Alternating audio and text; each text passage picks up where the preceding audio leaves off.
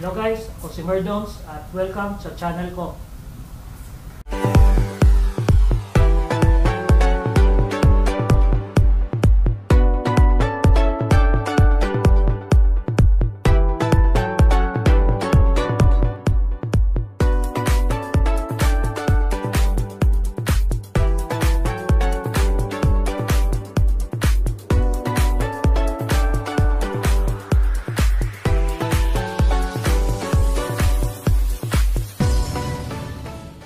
Okay guys, uh, on board na ako dito sa dito sa barko.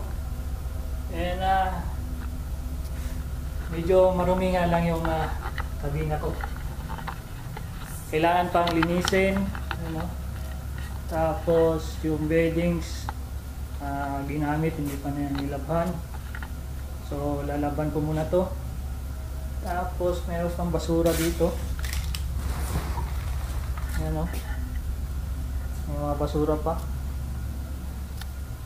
Tapos, ewan ko to. Ayan. May sapatos dito. Siguro may crew dito na natulog.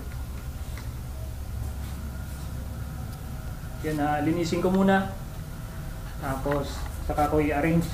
Tapos, ito yung uh, CR ko. Linisin ko ulit. Tapos may halaman pa.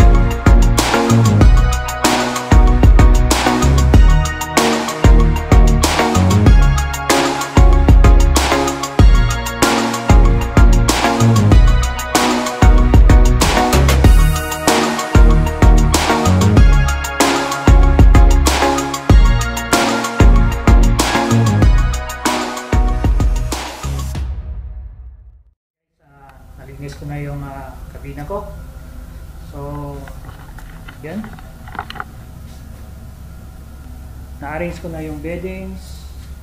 Natanggal ko na yung mansa.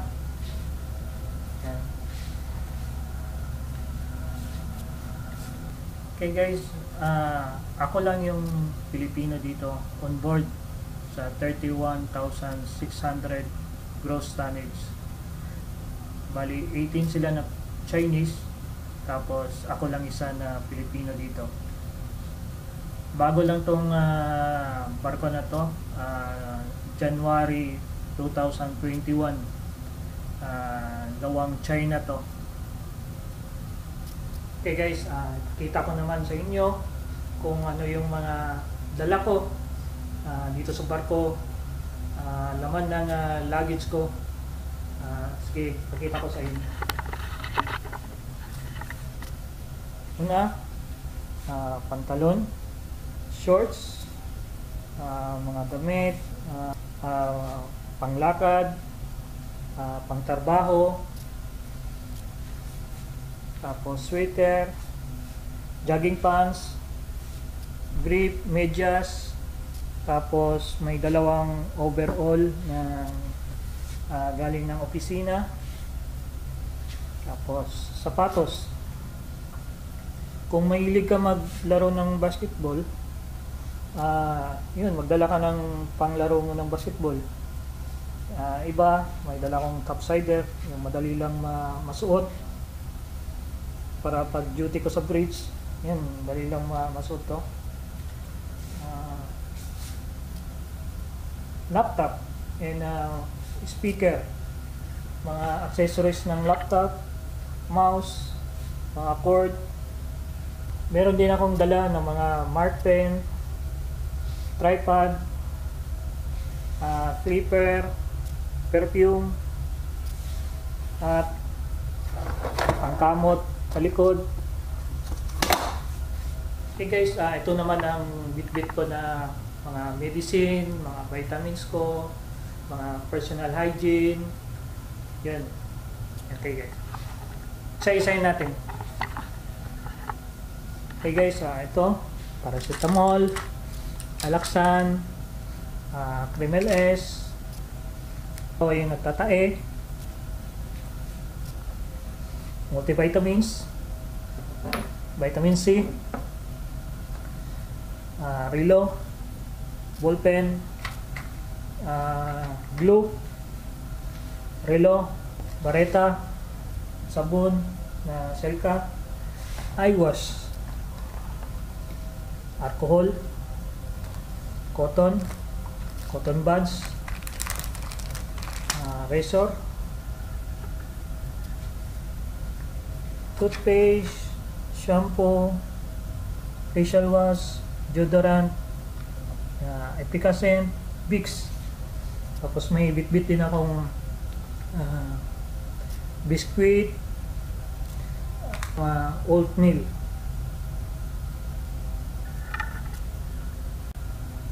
Guys, ah yan, ligpitin ko na itong mga gamit, lagay ko na sa mga cabinet, and ah, mga iba, ilagay ko naman sa mga drawer, Ah, basta i-arrange ko itong mga gamit ko.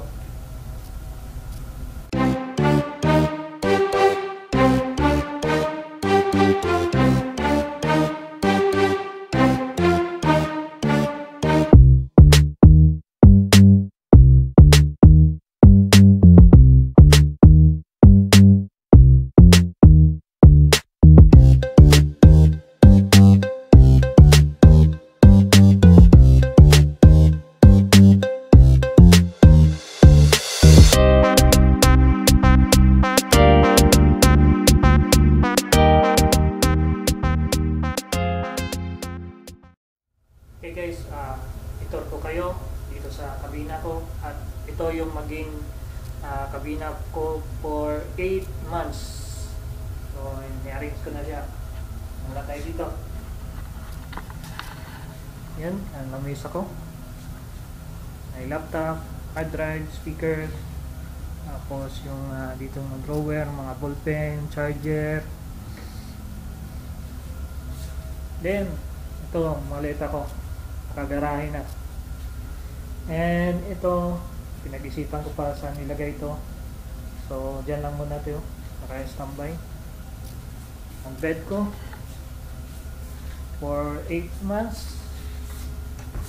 And ang cabinet ko.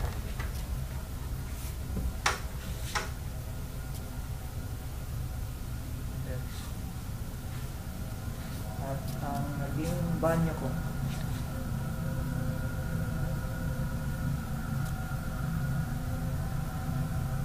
Okay guys, salamat sa panood at see you sa next vlog ko.